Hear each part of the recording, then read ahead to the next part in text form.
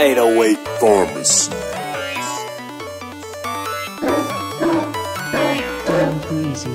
You made that? It's Fresh 808 Gang.